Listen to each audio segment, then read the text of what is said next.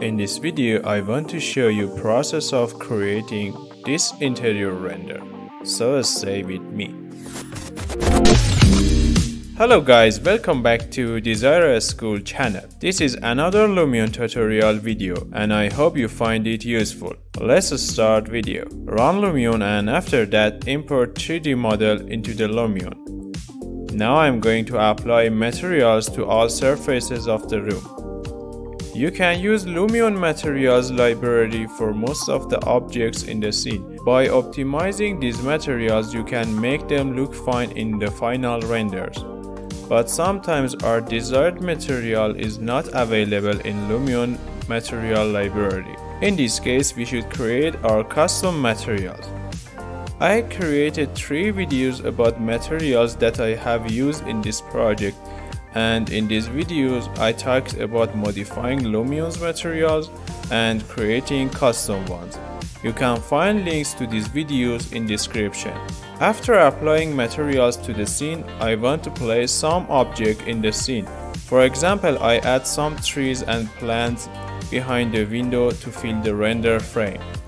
My 3D model is well decorated and full of uh, small objects but in the models that have not these decorative objects, you should add them by your own. And Lumion Object Library is a great option for this. Now it's time to add Lumion effects. It's good to save some good render view in the beginning. Okay, click on FX button and go to the Advanced tab. Add shadow effect to the scene active fine detail shadow and soft shadow. These two options makes shadow smooth and more realistic. To create darker shadow in the scene, reduce the brightness. After shadow effect, add a skylight. This effect creates nice ambient light from a sky. Active these two options. Here you can modify the amount of this effect by brightness and saturation sliders.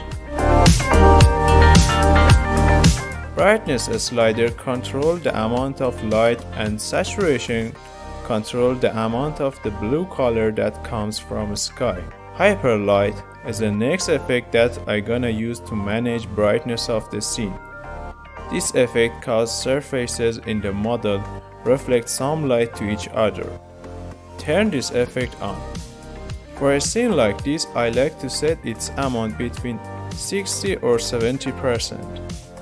It's time to add real sky effect and choose one of these skies for our scene. Here I choose one of the clear skies. By heading a slider, you can set the position of a sky. Here in this scene, because I want to make my scene brightener, I will increase the brightness and overall brightness of this scene. Now add the reflection effect. It's very important to turn on Speedray option. Speedray create more realistic reflection in your render. In the next click on edit reflection planes button and choose surfaces that they need accurate reflections. Here in this project I choose glasses, floor and cabinets. By doing this, in the final render, these surfaces have a very accurate reflection on them. Let's take a test render and check result. Okay, I will change my camera view a little bit to have a nicer render frame.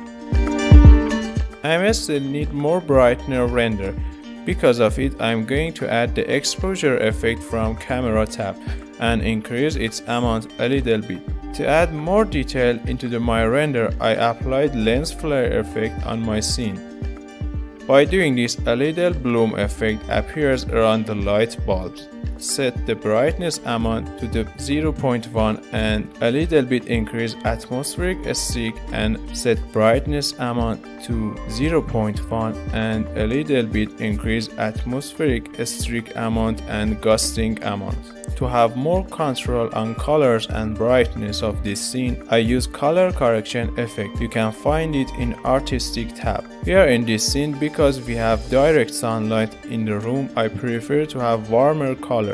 In this effect menu, with temperature as slider, you can make colors colder or warmer. For the next step, increase image brightness by its slider. Here I think it's good to have a more contrast in render, so I will increase it a little bit. Let's take another test render. Everything looks much better now. I want to modify materials again. I'm going to do this modification. Change the reflectivity and glossiness of some materials. Set the right amount of weathering effect and make bumps more visible by increasing relief amount. Now for the last time I want to check effect and modify them. I suggest you to always check different settings for the shadow, skylight, hyperlight and real sky to achieve the best lighting in your scene. Okay guys, I applied effect and it's time to take the final render. If you are interested in practicing this model by your own, find download link of this SketchUp model in description. Thank you so much, stay safe.